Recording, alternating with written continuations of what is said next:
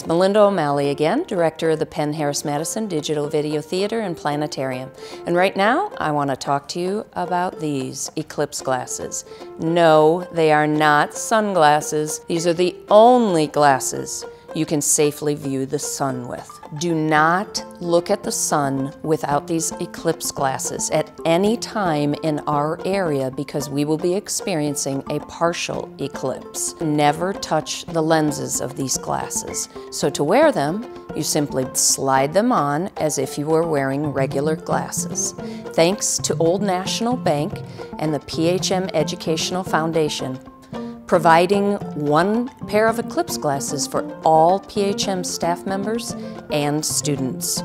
If anyone else in your family needs eclipse glasses, check your local libraries as well as Notre Dame because they will be giving away free glasses as well.